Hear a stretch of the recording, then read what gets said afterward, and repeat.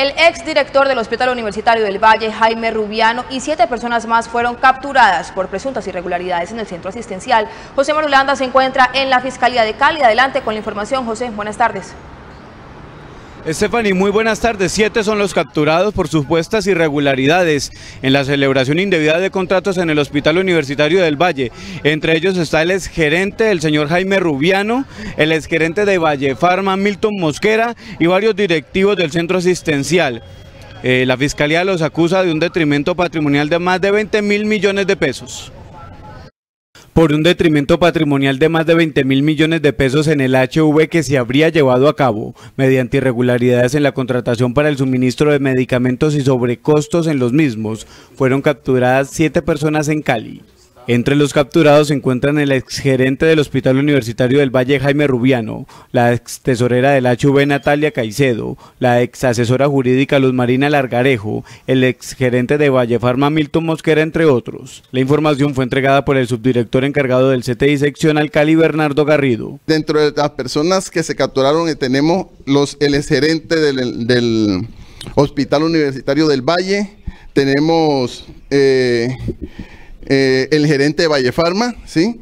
que es una unión temporal. Tenemos al el tesorero del, Universitario del Valle, tenemos al jefe de planeación y dos jurídicos. El funcionario explicó que los delitos que se les imputan son la celebración indebida de contratos y peculado por apropiación. Es una investigación que adelantó la Fiscalía 76 de Administración Pública con apoyo del Cuerpo Técnico de Investigación, ¿sí? por los delitos de...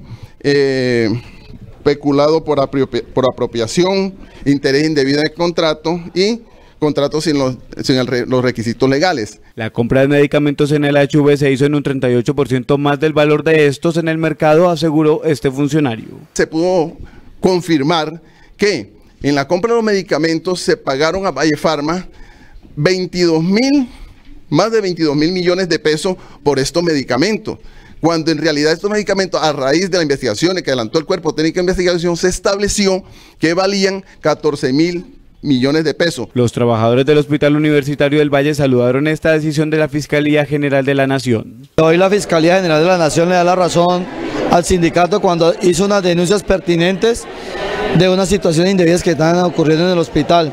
En estos momentos se adelantan las audiencias de legalización de captura y la judicialización de los implicados en un detrimento patrimonial en el HV por más de 20 mil millones de pesos.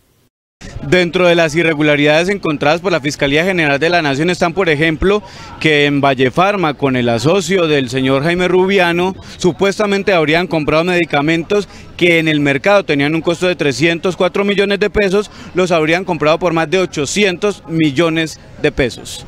Sigue usted, Stephanie, con más información en Pacífico Noticias porque nuestro camino es la verdad. Estaremos al tanto del desarrollo de esta situación. José, gracias.